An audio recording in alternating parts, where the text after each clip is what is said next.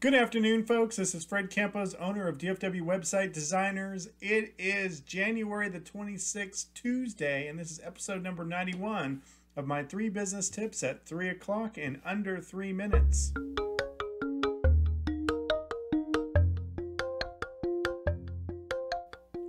Today, we're going to talk again about different ways to do sales, especially when you're starting out. Now, some of you that are watching this, you're not solopreneurs starting into a new business. So we're going to tackle some of these tactics. Not all of them are ideal, but some of them make sense when you're first getting started. So what we're going to talk about today are lost leaders, value clients, and email list. Lost leaders.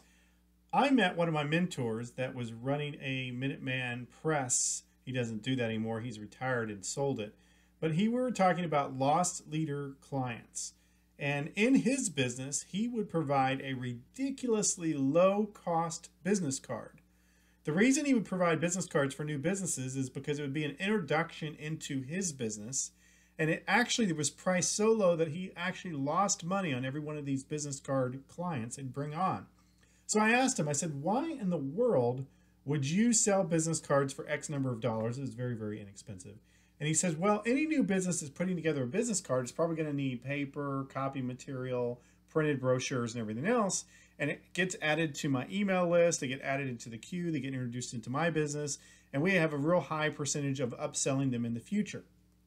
This was a great answer to a lost leader. So this concept is, is that you don't give it away for free, but you provide a particular service to a new client that's usually a really small piece of your business with the intent of bringing them into the queue, and for the intent of upselling them bigger information later. That is great, a lost leader. What are the lost leaders in your business that you could offer that would be only for new clients that while it may cost you a, a few dollars would be beneficial to get them into your organization or introduced to it? That's my first business tip, lost leader clients. Number two fits in line with this. When you first start out, you may do what I call value trades. I'm not a fan of this, but when you're first starting out, you could do this. What it is, it's a fancy word of saying bartering. It's where I provide a service in exchange for another service where there's no monetary value that actually takes place. Now, be very careful. Uh, the IRS requires you to fill out uh, 1099B about these for bartering as to the actual value of it. But when you're first starting out, you may want to do this. We did this in our very first website we built. We built it for a pizza place. We traded uh, a couple months of free lunches in exchange for a referral and a new web design. I have done this with a dentist where I might give them a free website in exchange for dental services. Again, it's ideal in the beginning, it's not ideal long term. Third and final tip is that you got to build your email list. You've heard me talk about this all the time. We talked about it in newsletters and previous episodes, but you got to be building and adding to your email list daily.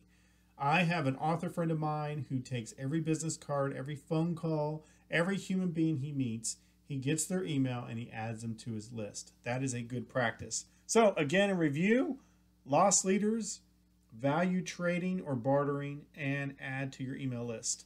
I tell you this so you guys can be awesome. Now go back to sleep.